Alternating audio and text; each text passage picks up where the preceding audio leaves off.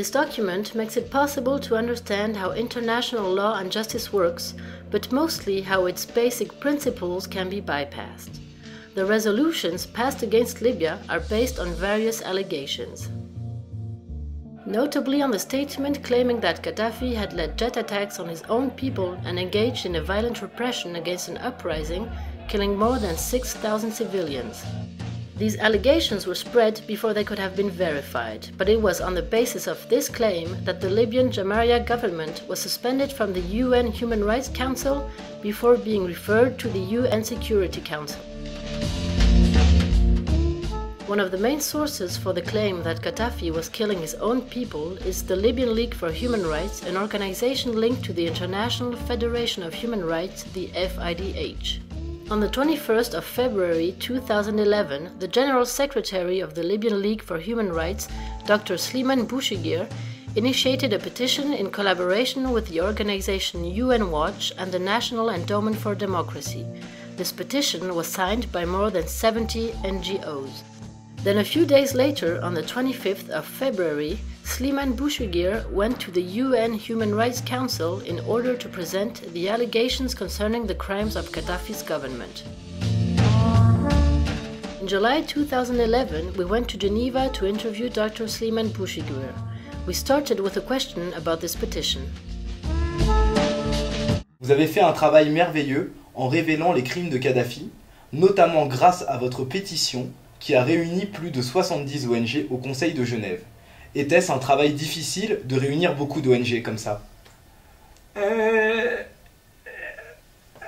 Pour vous dire la vérité, c'est pas très difficile parce que tous les ONG se connaissent entre, elles. Et finalement, la réunion du Conseil euh, des droits de l'homme euh, amène tout le monde à Genève. Et c'est à ce moment-là qu'on a fait cette pétition et qu'on a fait signer par tous ces membres. So, a few days after the launch of the petition, Dr. Sliman Bouchiguir went to the 15th special session of the UN Human Rights Council, which took place on the 25th of February 2011. There, he held a speech in the name of the Libyan League for Human Rights. The session led to the suspension of the Libyan Arab Jamahiriya Human Rights Council membership, a decision that took effect a few days later, on the 1st of March, during a UN General Assembly gathering. The fears expressed by FIDH over the last few days are unfortunately uh, coming true. Colonel Gaddafi is uh, implementing a scorched earth policy. His militia are launching massive systematic attacks on those citizens who have spoken out against the regime and on civilians suspected of opposing the regime, as well as uh, targeting foreigners. These acts may be described as crimes against humanity, as we were reminded by the High Commissioner. President, uh, fresh information keeps arriving uh, as to the murders of soldiers refusing to carry out orders, the killing of the wounded in hospitals, and then the disappearance of their bodies, orders to bomb given to fighter pilots, Gaddafi's intention proclaimed in his statement on the 22nd of February to get rid of the rats and the drug addicts had to be taken seriously.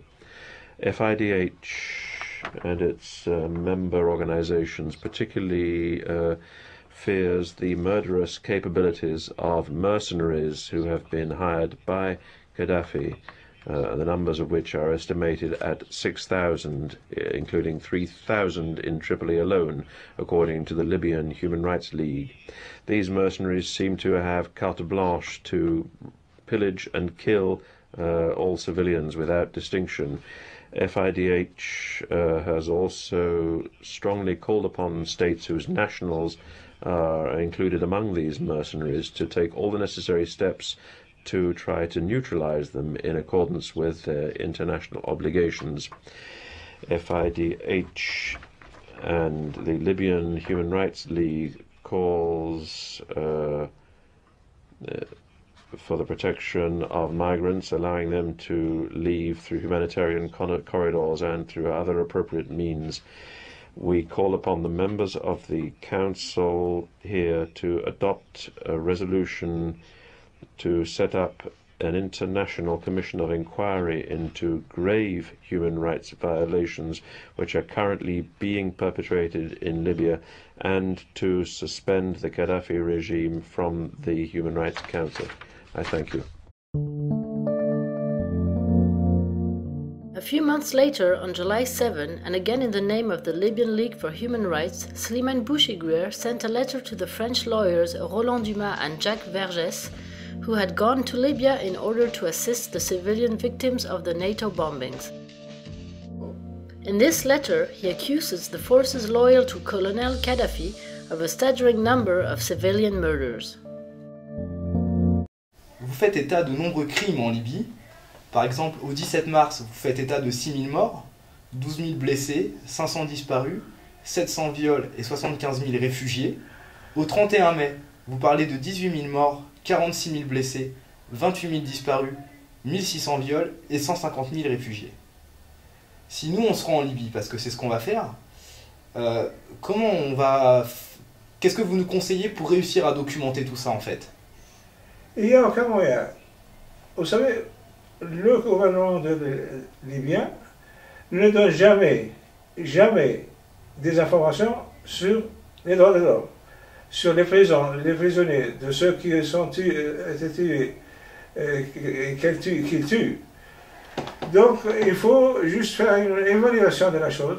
Et moi, je n'ai pas pris ça de n'importe qui, j'ai pris ça du Premier ministre libyen, de l'autre côté, donc du Conseil national provisoire. C'est le Premier ministre, M.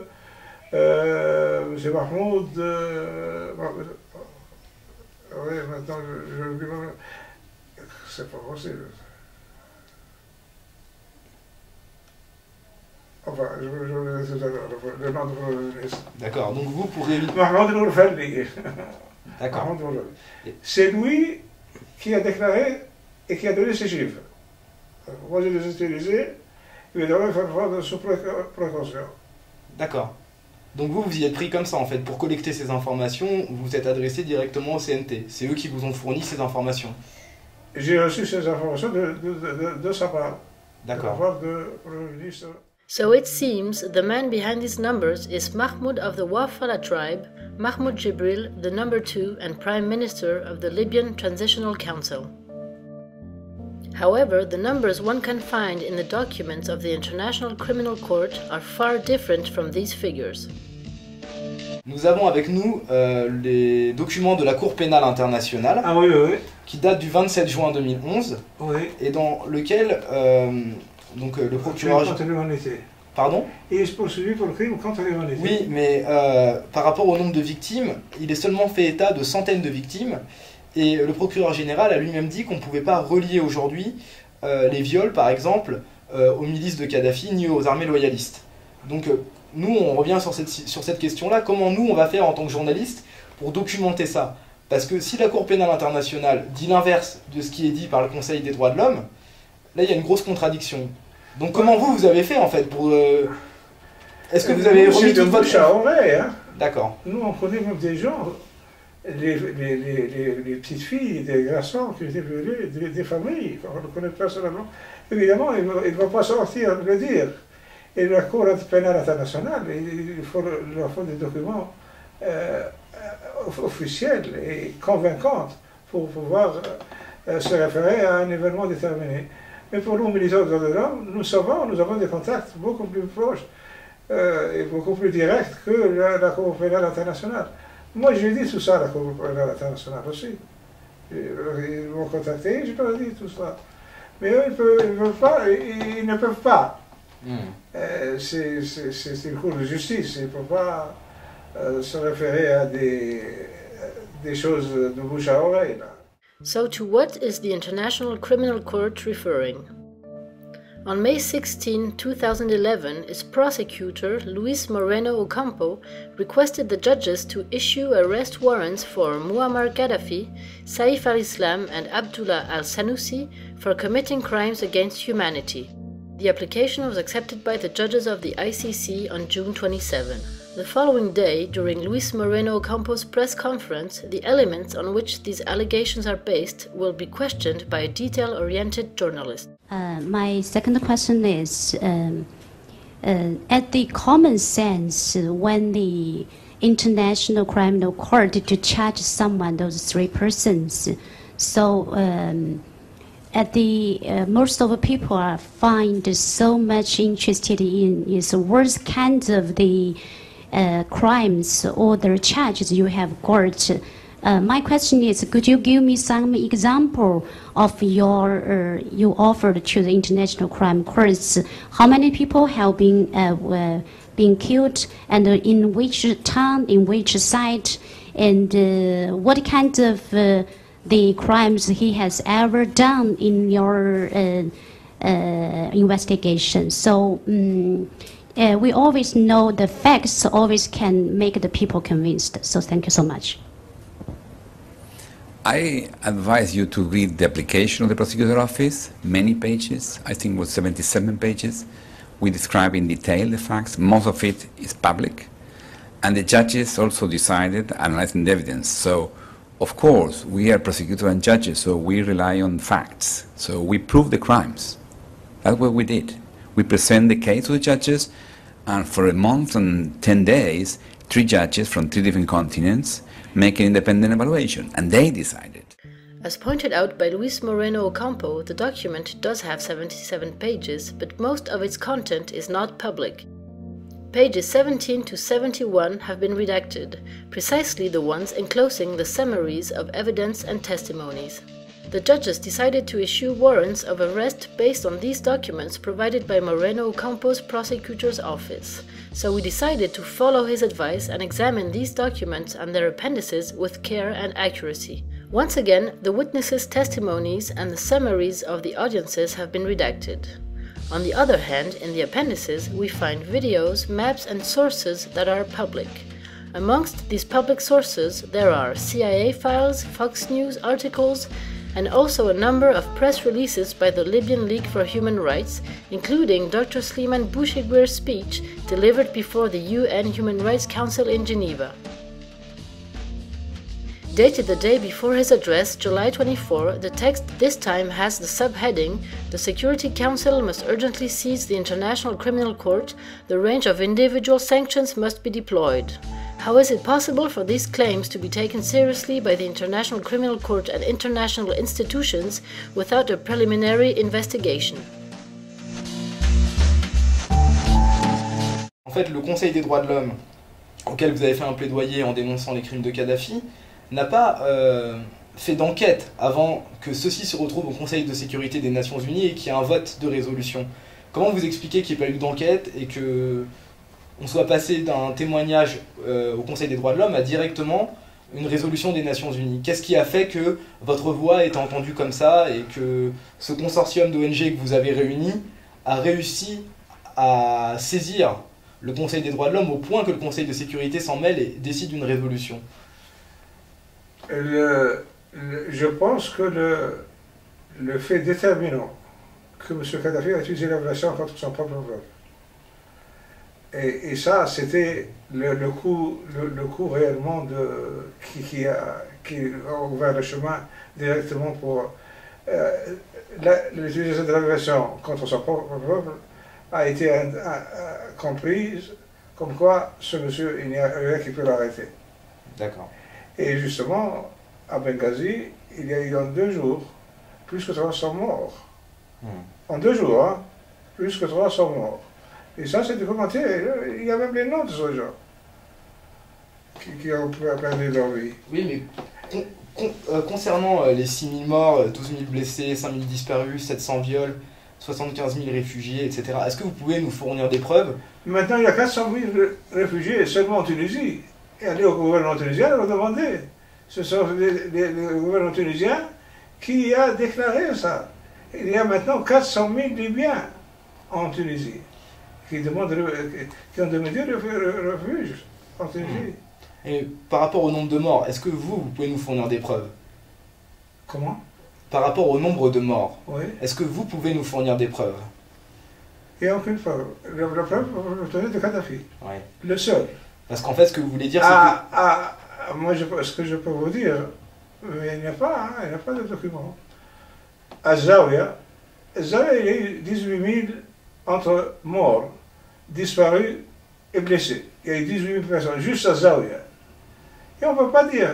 Vous savez, avant, la, avant la révolution du 7 février, on n'osait pas dire ça. Parce que si on disait ça, non seulement personne ne nous croirait, mais aussi ils vont dégrader la crédibilité de la Ligue.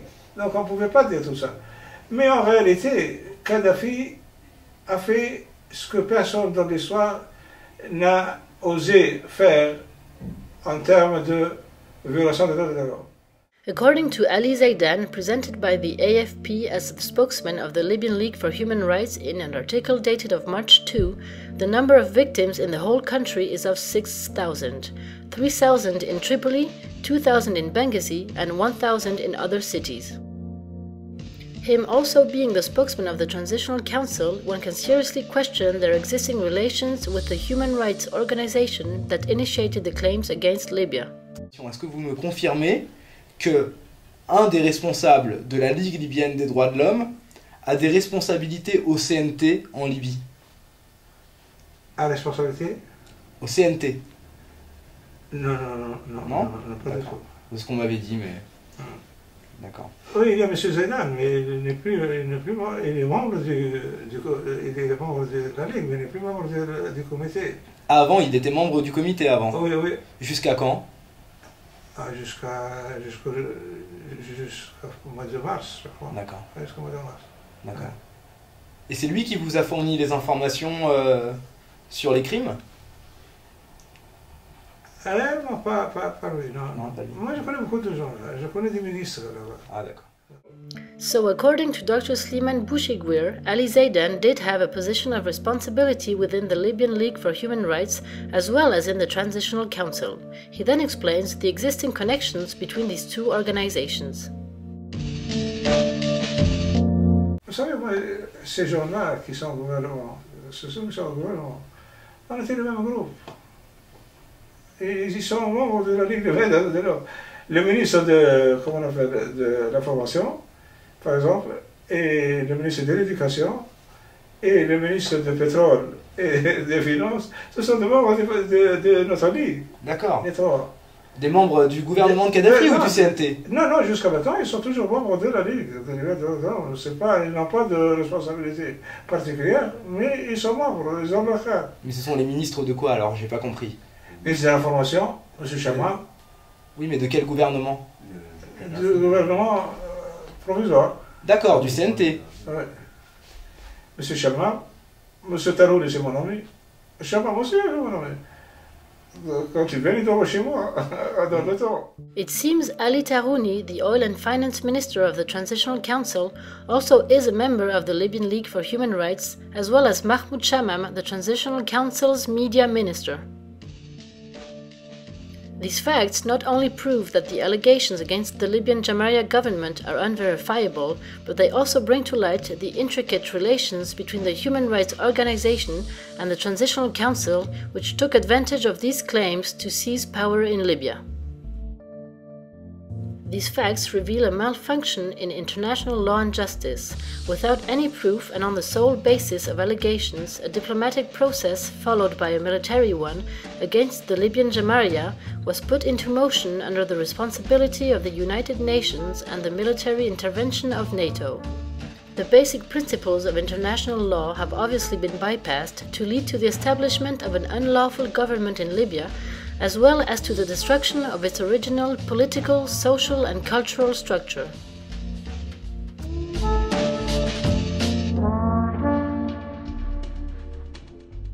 Help us finish our work in our movie The Humanitarian War with a donation. We are counting on you.